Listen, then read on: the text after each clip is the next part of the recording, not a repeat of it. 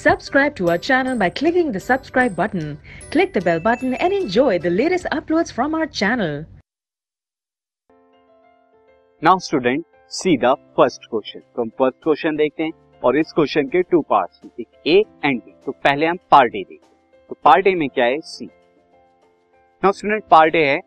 Explain this is explain the measuring of the following equation of motion कि जो following equation of motion हमें जो given the हुई है, यानी v is equal to u plus at ये क्या मेजर कर वेयर यहाँ पर क्या है? Symbols have their usual meaning जो सिंबल दे रखे हैं वी यू एटी इनके यूजुअल मीनिंग है तो देखते हैं किस तरह से। मैं सॉल्यूशन में यहाँ पर करता हूँ। पहले तो मैं आपको यहाँ पर इनके मीनिंग बता दूँ कि इनके यूजुअल मीनिंग क्या है। तो आप जैसे जानते हैं वी आपका क्या होता है? V final v final velocity ये फाइनल वेलोसिटी है। नाउ स्टूडेंट नेक्स्ट यू क्या होता है? यू इज़ इनिशियल यू क्या होता है? U is initial velocity velocity and next हमारा ए क्या होता है? ए आप जानते हैं एक्सेलरेशन होता है तो मैं acceleration and t is time t क्या होता है?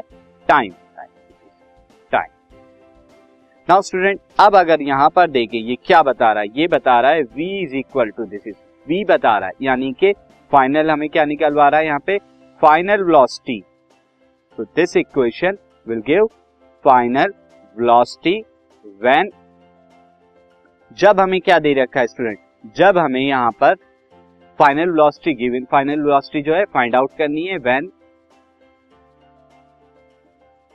when we have we have क्या दे रखा है? हमें initial velocity initial velocity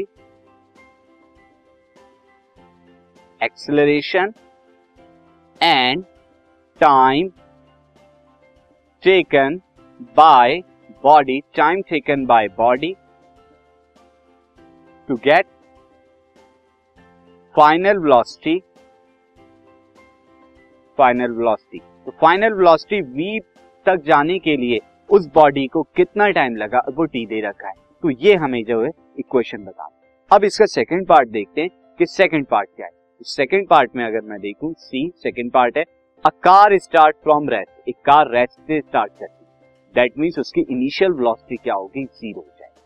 travels with uniform acceleration और फिर यूनिफॉर्म एक्सेलरेशन के साथ वो जो है चल इफ़ इट ट्रेवल्स अगर वो ट्रेवल करती है 100 metre in five second 100 metre 5 second के अंदर वो ट्रेवल करती है। What is the value of acceleration हमें बताना है कि वैल्यू ऑफ़ एक्सेलरेशन क्या होगी सिंस यहाँ पर हम देखते हैं क्या क्या हमें गिवन दिया हुआ है स्टूडेंट एज वी से given that this is